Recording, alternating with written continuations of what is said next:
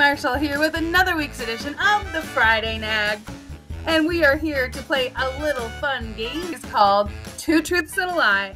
So, how this is going to work is every week for the next several weeks, we are going to feature a new fabulous REE employee, and they are going to tell you three things about themselves. Two things are going to be absolutely true, and one thing is going to be a bold faced lie. So, your job is to figure out which one is the lie and which ones are the truth. And then you'll send that answer back to me via email. And what I'll do is I'll take everybody that got all the answers correct and enter them into one drawing for the week. And we'll give out a $25 Target gift card to the winner. So let's start with this week's person, this week's fabulous employee. Are you ready? Here we go.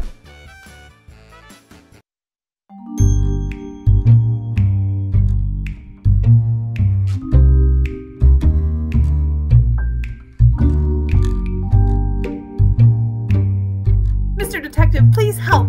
Our RE employee has been kidnapped, and the only way we can free them is if we figure out which one is a lie.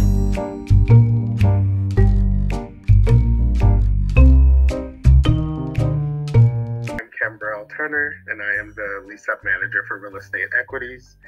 I have broken several bones in my body. Mac and cheese is my favorite food. And like Ariel, I like to be under the sea, so I am scuba certified. Which one do you think is the lie?